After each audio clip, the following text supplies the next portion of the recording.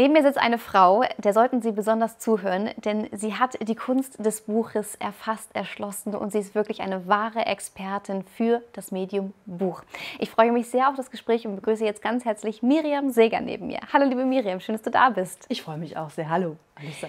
Wir sprechen über das tolle Thema Buch und passend dazu hast du uns auch dein neues Buch mitgebracht. Ganz genau. Erzähl mal, worum geht es in deinem neuen Buch? Tatsächlich ums Bücherschreiben. Stell dir vor. Also es geht wirklich darum, wie man das eigene Expertenbuch nicht nur schreibt, sondern auch erstmal feststellt, ob es überhaupt zu einem passt, also zum eigenen Business, zur eigenen Persönlichkeit, zu den Produkten und zur Kundengruppe, weil das ist ganz, ganz wichtig, das ist die Basis für alles. Und in zwölf Schritten erzähle ich in diesem Buch, ja, wie man sich positionieren kann, was das Buch überhaupt für einen tun kann, wann man eins schreiben sollte, gebe dann ganz konkrete Tipps zum Thema Buchschreiben und auch vermarkten, denn das Schreiben ist tatsächlich nur die halbe Miete. Wenn ich ein Buch geschrieben habe und keiner mhm. weiß davon, dann ist natürlich irgendwie auch blöd. Ne? Also es gibt auch ganz handfeste Tipps, was kann ich zum Beispiel auf Social Media tun, wie kann ich mein Buch vermarkten. Eigentlich so, sage ich mal, Full Enchilada, sage ich immer ganz gern dazu. Das komplette, ja, eine komplette Anleitung, Anleitung rund ums Buchschreiben. Ach, großartig, weil das ist ja wirklich, ich glaube, jeder, der sich mal mit dem Thema befasst hat, merkt ja, oh Gott, was da alles auf einen zukommt. Mhm. Du hast aber die, die, perfekte Erfahrung, weil du hast als Ghostwriterin gearbeitet, arbeitest als Ghostwriterin. Mhm. Erzähl mal ein bisschen mehr über deinen Werdegang, bitte. Mhm. Also ich habe in dem Buch auch ganz viele Geschichten von mir verpackt, denn das, was ich da beschreibe, das bin ich alles selber durchlaufen. Auch diese gesamten Mind F, ich sage jetzt das mhm. Wort nicht. Ne?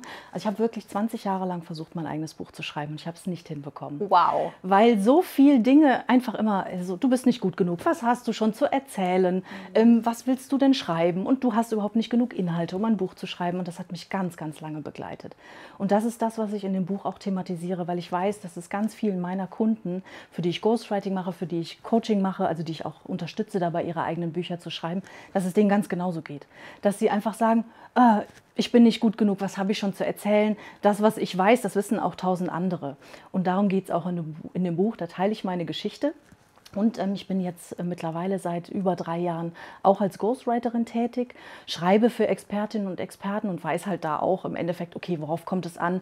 wenn man ein Buch schreiben möchte, vor allem zielgruppengerecht schreiben möchte, weil das ist ganz, ganz wichtig. Viele berücksichtigen irgendwie gar nicht, für wen sie da schreiben. Und dann hast du natürlich äh, eins von diesen wunderbaren vielen Schrottbüchern, die gerade auf dem Markt sind. Das ist super schade. Das teile ich alles sehr gerne aus meiner persönlichen Erfahrung, aber auch mit ganz vielen Praxistipps. Also das ist kein trockenes Ratgeberbuch, so nach dem Motto, wie schreibe ich mein Buch in 24 Tagen, mhm. sondern es geht halt wirklich ans Eingemachte. Ich finde es gerade total bemerkenswert, dass du selber auch sagst, mir ist es selber so schwer gefallen, da wirklich ein Buch zu schreiben, weil man muss ja festhalten, wie viele Bücher hast du schon geschrieben tatsächlich? Also es sind mittlerweile fast 45. Wow. Kennt halt keiner. Ne? Ja. Das ist immer das als Ghostwriter, ist kein Thema. Alles gut. Wie ist es denn jetzt bei deinem eigenen Buch? Also wie ist das auch entstanden? Mhm. Ähm, es war lange in der Schublade gelegen. Also ursprünglich wollte ich über ganz was anderes schreiben. Da ging es um was ganz anderes. Ich habe ähm, früher war ich war über 25 Jahre angestellt im Mittelstand in unterschiedlichsten Positionen, Vertrieb, Marketing, Produktmanagement, ähm, auch immer schon PR gemacht. Und ich habe gedacht, hm, fass einfach mal so dein Wissen zusammen. Aber dann kam eben dieser, dieser kleine Böse ne, im Kopf, der dann sagte, ah, Quatsch, das gibt's alles schon. Mhm. Und ganz viel habe ich dann angefangen zu schreiben habe dann das, was ich geschrieben habe, wieder gelöscht, weil ich es mir durchgelesen habe, gedacht, das kannst du niemals in die Welt tragen. Ne? Mhm. Und das ist das, was auch viele ereilt. Und ähm, da habe ich gedacht, so, das Ganze packe ich jetzt wirklich mal in das Buch hinein. Und jetzt habe ich deine Frage völlig vergessen. Sag, wie dein Weg zu deinem Buch war. Also genau, ja. Also da ist es wirklich hingegangen, dass, dass ich versucht habe zu schreiben und immer wieder gescheitert bin.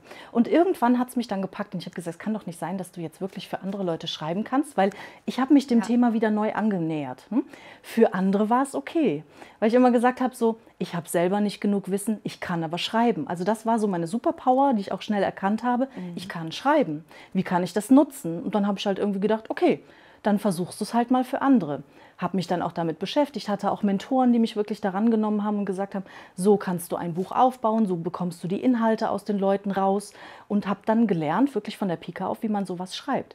Und irgendwann, ähm, ich habe es geschrieben letztes Jahr, also 2021 war das, im, zum, Ende des Jahres und habe dann gesagt, so, es kann doch nicht sein, dass du jetzt schon über 40 Bücher hier hast und hast immer noch kein eigenes. Ja. Ne? Und da hat es mich dann gepackt und dann habe ich das Ganze wirklich innerhalb kürzester Zeit geschrieben. Ich hatte aber schon ganz viel vorgearbeitet. Also ich habe immer wieder Schnipsel gesammelt, mhm. abgelegt und das Ganze dann einfach nur strukturiert zusammengefasst und es dann in Buchform gebracht. Und dann ging es auch recht zügig. Gab es aber diese, diesen einen Moment, der dann wirklich so diesen Einschalter umgelegt hat? Tatsächlich, ja. Es war wirklich so ein, es war so ein, das kann doch nicht sein. Also es war wirklich, ich weiß nicht, ich glaube, es war irgendwie ein Abend, wo ich da gesessen habe und wieder an einem Ghostwriting-Projekt gearbeitet habe und habe gesagt, es kann doch nicht sein, dass du jetzt für so viele Menschen schreibst und meinst, du kriegst es selber nicht hin. Ja. Und dann habe ich mich wirklich hingesetzt und habe einfach angefangen und auf einmal ging es. Es mhm. lief, es lief. Ich meine, ich habe dann natürlich auch trotzdem Schreibblockaden gehabt. Dann kam natürlich hier der kleine Böse wieder und sagte, bist du sicher? Ne? Mhm. Weil so ein Buch macht einen halt auch sichtbar. Mhm. Das ist dann, ähm, man kann sich nicht mehr verstecken, sobald das, ähm, sage ich jetzt mal, beim großen Buchhändler mit A hochgeladen ist, gibt es halt vielleicht auch mal den einen oder anderen, der es nicht schön findet. Und ähm, das macht schon einiges mit einem. Ja. Weil man gibt ja auch, also ich habe sehr viel Herzblut in das Buch reingesteckt. Das mache ich eigentlich in alle Projekte. Und ähm, wenn man dann merkt, dass man angegriffen wird, ist ja, im, mhm. in, äh, kennst du auch, ne? Ich meine, du sitzt ja. auf der Bühne, ähm, sehr viel in Moderationen. Man wird einfach in der Öffentlichkeit sichtbarer sei es jetzt so, wie du es machst, sei es durch ein Buch, sei es, wenn man auf die Bühne geht. Und das muss man auch aushalten. Mhm. Und ähm, ja, das schaffe ich aber jetzt. Ich finde das total toll, da auch wirklich so ehrlich dran zu gehen, weil ich glaube, du kannst so viele Menschen damit adressieren. Jeder sitzt da ja mal und hat die Schreibblockade oder mhm. weiß nicht mehr weiter oder sieht einfach nur dieses Riesenprojekt, oh Gott, ich muss ja. so und so viele Seiten schreiben. Wie schaffe ich das mhm. tatsächlich? Ganz genau. Jetzt ja. hast du am Anfang so einen schönen Punkt angesprochen und hast gesagt, ich muss erst mal rausfinden, ob das Buch überhaupt zu mir passt. Mhm. Das wird ja ganz häufig so vermarktet. Wenn du eine Experte für XY bist, schreib dein Buch. Mhm. Aber du hast eine andere Einstellung mhm. zu. Mittlerweile ja. Also ich bin anfangs auch, ähm, habe ich gesagt, okay, schreib dein Buch. Und ich bin auch immer noch der Meinung, jeder sollte ein Buch schreiben, mhm. weil das was mit dir selber macht. Hm, du, es strukturiert deine Gedanken, ähm, du wirst dir einfach deines ganzen Wissens nochmal bewusst, auch deiner unglaublichen Geschichten, die du so mitbringst in deinem Leben. Deswegen, also wenn du es nur für dich selber schreibst, ist das, ist das schon super. Hm? Aber es gibt eben auch, sage ich mal, einfach Expertinnen und Experten, Trainer, Berater, Coaches, für die ist es einfach noch nicht der richtige Zeitpunkt oder das Buch vielleicht gar nicht das richtige Medium. Mhm. Wenn die zum Beispiel eine Zielgruppe haben, die einfach nicht gerne liest, dann ist so ein Buch rausgeschmissene Zeit und rausgeschmissenes Geld. Ja. Dann sind vielleicht Online-Kurse besser, dann ist vielleicht ein Webinar besser. Ähm, je nachdem, wie die Produktlandschaft ist, die so dahinter steht bei den Expertinnen und Experten, ist so ein Buch, kann das ein gutes Einstiegsprodukt sein, kann aber auch sein, dass es nicht richtig ist. Mhm. Und ähm, da verbinde ich quasi jetzt, sage ich mal, meine Expertise aus dem eigenen Buch, aus den 45 Ghostwritings, die ich schon geleitet habe, aus sehr vielen Coachings, die ich mittlerweile gemacht habe und auch aus meiner Expertise aus dem mittelständischen Unternehmen, wo ich sage, so, wir gucken uns erstmal genau an, was hast du denn? wer bist du überhaupt? Wer ist denn deine Zielgruppe? Und ist das für diese Zielgruppe überhaupt das richtige Medium? Und wenn ja, ja. dann klar. Wie ja. kannst du es schreiben? Wie kannst du es vermarkten? Was ist denn das richtige Thema? Ich hatte es gerade diese Woche noch, es war ganz interessant, ähm, wo ich eine Dame gecoacht habe, die gesagt, ich möchte gern schreiben. Und sie hatte auch schon angefangen und hatte auch irgendwie schon einen anderen Coach mal gehabt. Und ähm, dann sagte sie, aber irgendwie fühlt es sich nicht richtig an, ich komme nicht weiter. Mhm. Und dann habe ich ganz kurz mit ihr gesprochen und dann haben wir gemerkt, dass sie für ein ganz anderes Thema brennt. Nein. Was dann wirklich so Elemente aus dem, was sie schon geschrieben hatte, wo sie nutzen konnte, wo sie ihr tägliches Business, was sie gerade tut, nutzen konnte, das hatte sie selber nicht auf dem Schirm. Klasse. Und das fand ich so, das sind so tolle Ergebnisse, die mag ich halt total, ne? weil sie sagt, ja, du hast recht, das ist genau das, da habe ich richtig Lust drauf. Es war auch eine völlig andere Zielgruppe, wo jetzt auch die Ansprache dann natürlich anders sein darf. Das war richtig cool. Also das macht dann richtig Freude, wenn man sieht, so, es ist das Buch, es passt zur Zielgruppe, es passt zu der Person. Aber ich habe auch schon das Ergebnis gehabt, dass wir gesagt haben, nein, ein Buch ist noch nicht dran. Mhm. Erstmal sind andere Dinge wichtig. Aber das finde ich total spannend, weil da sind wir auch direkt bei deinem zweiten Offering, was du so anbietest. Also du, äh, du coachst ja auch Autorinnen und Autoren. In welcher Form machst du das denn? Mhm. Also mittlerweile findet natürlich sehr, sehr viel online statt. Ich starte mit meinen Autorinnen und Autoren immer mit, hm, ich sag mal, einer Art Kick-Off-Tag, wo ich die erstmal kennenlerne, wo ich erstmal schaue, okay, was haben die für ein Business, was haben sie schon für einen Außenauftritt, wie sind sie auf Social Media unterwegs, welche Produkte hängen dran, gibt es eine Produkttreppe, ne? mhm. wie ist, sage ich mal, die Customer Journey, was gibt es da schon. Hm?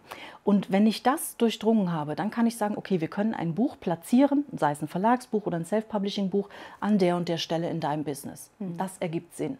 Und dann gucken wir rein, welches Thema ergibt Sinn. Ne? Also, dass wir dann auch wirklich schauen, wer ist die Zielgruppe, wie wird die Zielgruppe erreicht, wo ist die unterwegs. Und das, es geht sehr, sehr tief. Ne? Also, es ist nicht so, ähm, viele sagen ja, schreib einfach dein Buch und dann habe ich leider auch. Es kommen Menschen zu mir, die sagen, ja, ich habe jetzt mein Buch geschrieben, was, geschrieben, was mache ich jetzt damit? Oh ja. Und dann sage ich halt einfach, ja, schade, für wen hast du denn geschrieben? Ja, weiß ich nicht. Ne? Mhm. Und das ist halt blöd, weil ähm, zum einen musst du natürlich die Zielgruppe im Buch ansprechen und du musst natürlich die Zielgruppe später auch im Marketing ansprechen. Und da gucke ich sehr genau drauf. Ne? Also das ist für mich sehr, sehr ganzheitlich. Und wenn wir dann eben feststellen, Buch ist noch nicht dran, sind es vielleicht andere Medien, mhm. wo man sagt, okay, guck mal, ich gebe dir dann einen Tipp, vielleicht machst du eher ein Webinar oder machst so und so deinen Funnel. Ne? toll. Buch ist nicht das Allheilmittel. Also das ist tatsächlich so, dass viele enttäuscht sind von dem Output, den sie haben, mhm. weil sie es aber nicht von Anfang an auf richtige, stabile Beine gestellt haben. Ja, das ist ja auch so wichtig. Ich meine, wie viel Frust kann da auch wirklich in so einem Schreibprozess stecken etc. Ja. Und wenn man das vorher einfach besser analysiert hat und weiß, ja. okay, nee, es genau. passt einfach jetzt gerade ja. noch nicht. Ja. Wie lange coachen die Autorinnen und Autoren? Das kommt drauf an. Also es geht vom Kickoff, wo so ein Tag einfach ist, wo wir sagen, wir schauen einfach mal genau rein, mhm. drei oder sechs Monate. Mhm. Alles, also ich sag mal, drei Monate ist sehr ambitioniert, da muss man sich schon sehr viel Zeit nehmen, um dann später auch zu schreiben, weil die Autorinnen und Autoren dürfen ja dann schreiben in der Zeit. Ne? Ah ja, das machst du währenddessen dann, okay. Das machen die. Ne? Mhm. Also da schreiben sie dann und ähm, im Endeffekt sechs Monate ist eigentlich ein guter Zeitraum, wo man sagen kann, ja, mit einem wöchentlichen Aufwand von sage ich mal, roundabout vier Stunden, ne, mhm. kommt man schon zu einem guten Ergebnis. Bei dem einen dauert es was länger, bei dem anderen geht es was schneller. Das hängt auch immer davon ab, was ist es für ein Thema, ähm, wie viel muss ich recherchieren und so weiter und so fort. Aber das ist immer so eine Zahl, wo viele doch überrascht sind. Die sagen so, ja. boah, ich muss hier Stunden um Stunden investieren. Da ist echt Kleinvieh macht auch Mist. Und ich sag mal, jede Zeile bringt dich deinem Buch näher ne? mhm. oder jeder Buchstabe, den du tippst. Und ähm, das wäre auch so mein Tipp, den ich gerne mitgeben möchte heute fangt einfach an. Ne? Also ich sage mal, klar, macht euch Gedanken drum, für wen ist es, ähm, wie ist die Zielgruppe, wie soll es eingebunden sein, aber dann ist es wirklich ein Weg ja, der kleinen Schritte. Wenn man ja. jeden Tag oder äh, sagen wir es auch nur einmal in der Woche vielleicht zwei, drei, vier, fünf Seiten schreibt, dann habe ich nach einem Jahr irgendwann auch mein Buch fertig. Ne? Aber was sagst du so, was ist da wirklich der ultimative erste äh, Schritt? Also wenn ich mich jetzt entscheide, okay, es passt alles, ich habe meine Zielgruppe etc., fange ich wirklich mit dem ersten Satz an oder sagst du einfach, fang einfach irgendwo an? Ja, also ich sage meinen Autoren und Autoren gerne, fangt einfach so an, wie es sich gerade richtig anfühlt. Mhm. Du hast einen Impuls. Hm? Also zum Beispiel, so schreibe ich auch meine Social Media Posts. Ne? Das funktioniert auch wunderbar für ein Buch. Es kommt ein Impuls. Du hast ein Coaching, es ist irgendwas los und du sagst, so, dazu möchte ich jetzt schreiben. Muss natürlich thematisch irgendwo passen. Ne? Ja. Viele strukturieren sich kaputt. Die sagen, ja, ich muss erst die Struktur haben und dann schreibe ich genau nach dieser Struktur. Das kommt auch so ein bisschen darauf an, was man für ein Mensch ist. Ne? Wenn man sehr strukturiert ist, ist das vielleicht besser die Möglichkeit. Ja. Aber für die, die gar nicht wissen, wo sie anfangen sollen, sage ich, fangt einfach an mit irgendeinem Thema, lasst es fließen. Zusammenpacken kann man das später immer noch. Ne? Man schreibt es in Word, dann schiebt man halt einfach die Datei ein bisschen hin oder her und gut ist es. Also der schlechteste Weg ist nicht anzufangen. Ja, mhm. aber das finde ich wirklich faszinierend. Also ich finde auch einfach, A, es ist so toll, ein eigenes Buch in den Händen ja. zu halten. B, finde ich es natürlich auch super, wenn man da von jemandem Erfahrenes unterstützt wird, weil wenn ich mir es selber vorstelle, es ist einfach ein Riesenuniversum. Was beobachtest du auch, was ist so der häufigste Fehler, der gemacht wird?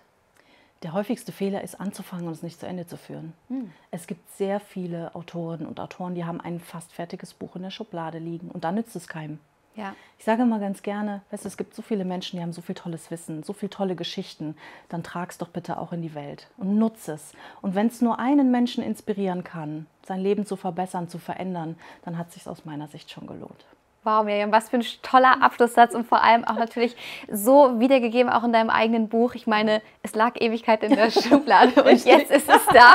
So ist es ganz genau. So schön, dass du heute zu Gast warst und vielen, vielen Dank, dass du uns das Buch mitgebracht hast. Sehr gerne, vielen Dank.